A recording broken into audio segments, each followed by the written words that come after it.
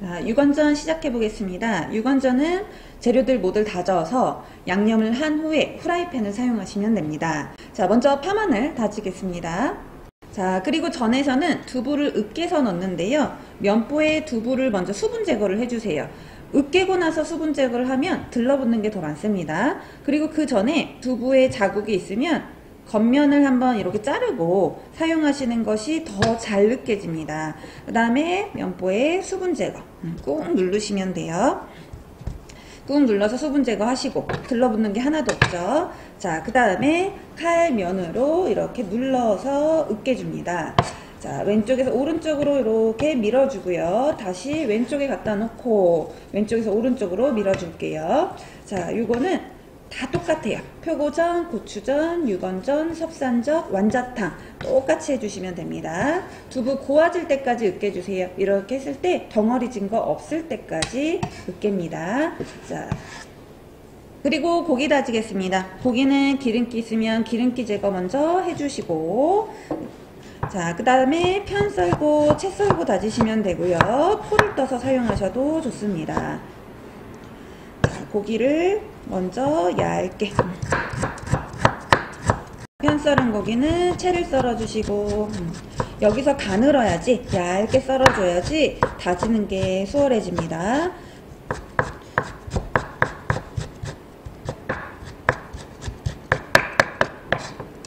채썬 소고기는 모아서 다시 한번 잘게 만들어 주세요.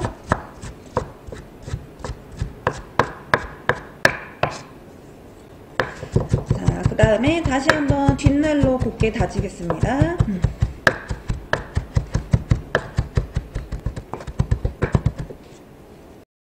고기가 들뜬다면 칼면으로 이렇게 도마에 눌러서 다시 한번 다져주세요.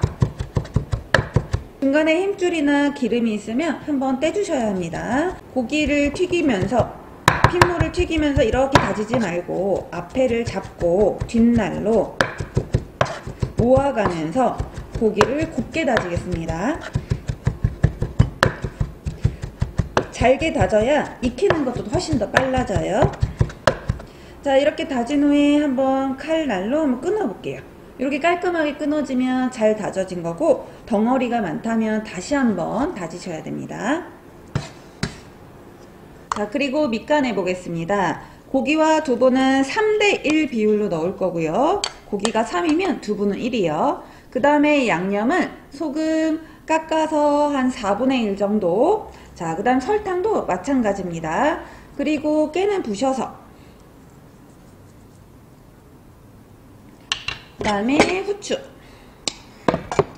파마늘. 참기름.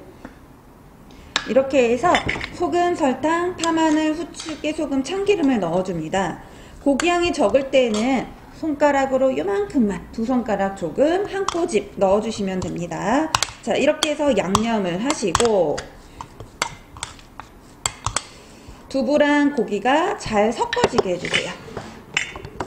고기랑 두부가 이렇게 잘 섞어지게 손으로 섞어주시고 그 다음에 안에 공기가 차 있고 성글성글하니까 이거를 치대어서 갈라지지 않도록 만들어 주시는 거예요. 손에 이렇게 던져 주셔도 되고요. 그릇에 던져서 찰지게 만들어 주셔도 좋습니다.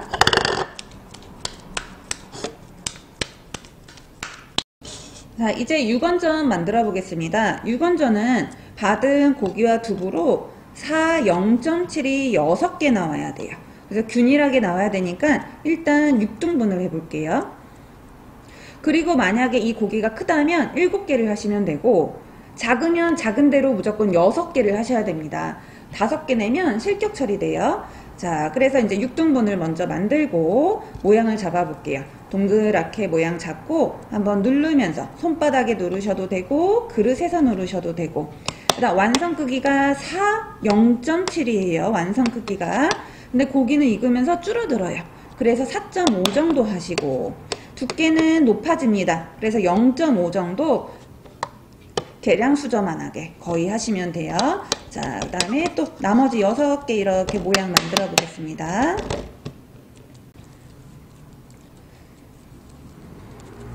가장자리가 갈라지지 않도록 손으로 이렇게 만져주시고 혹시 자꾸 갈라진다면 너무 건조해서 제대로 못 다져서 덜치돼서 갈라지는 거니까 그 점 유의해서 다시 한번 실습해 주세요.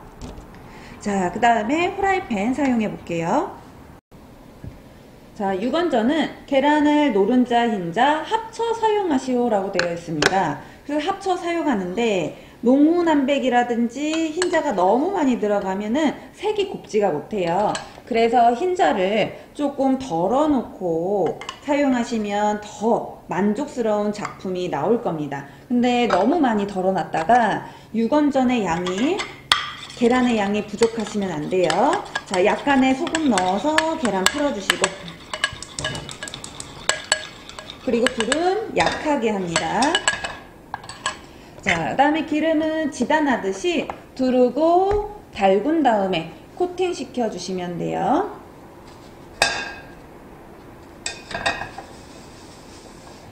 자, 그 다음에 밀가루 묻혀볼게요. 자, 밀가루는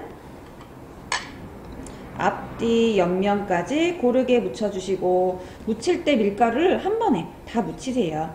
자, 그 다음에 덩어리 진 거는 살짝 털어주셔야 합니다.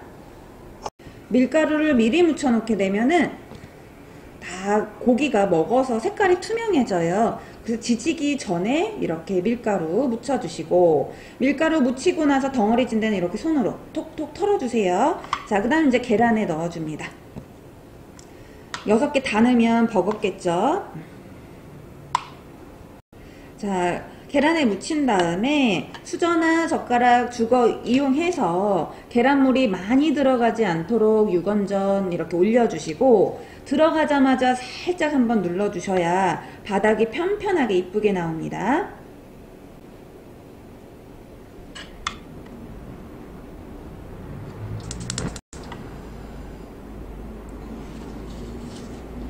자, 밀가루 묻힌 거 다시 계란 네. 그 계란을 깰 때도 밥그릇에 깨시면은 되게 불편해요. 넓은 그릇에 깨주시고 흰자를 제가 반은 안 썼는데 계란이 이렇게 충분하죠? 자 이렇게 먼저 들어간 게 만약에 혹시 칙 소리가 좀 많이 난다면 불을 좀 꺼주셔야 돼요. 먼저 들어간 거 한번 살짝 눌러보시고 바닥이 잘 떨어지고 그 다음에 노른자 색깔만 겨우 나오도록 하시는 게 좋은데요. 이렇게 하다가 실격되는 경우가 너무 많아요. 고기가 안 익어서. 그래서 너무 색깔 위주로 가지 마시고 고기니까 반드시 익도록 만들어 주시면 됩니다. 자, 온도 조절 들었다 놨다 불을 껐다 켰다 해주시고요.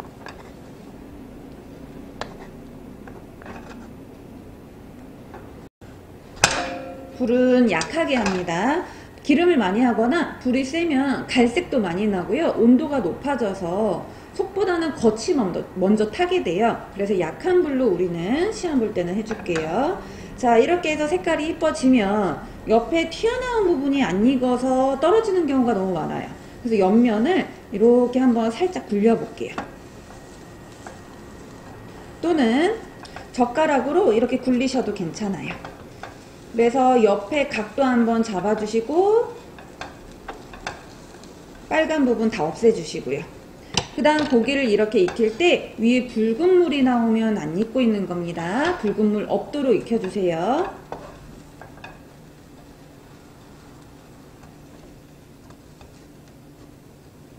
자, 앞뒤로 익힌 유건전은 건져 보겠습니다. 자, 다섯 개 먼저 바닥에 깔고 하나를 위에 올려주셔도 괜찮고요. 또는 여섯 개를 삥 돌려주셔도 괜찮아요. 유건전은 다음과 같이 지름이 4cm 정도 되고 두께가 0.7이 되게 6개가 반드시 나와야 됩니다. 6개 중요하고요. 그리고 옆면, 가운데 다 익어야 됩니다. 모두 가위로 잘라서 확인하니까요. 자, 유건전 완성되었습니다.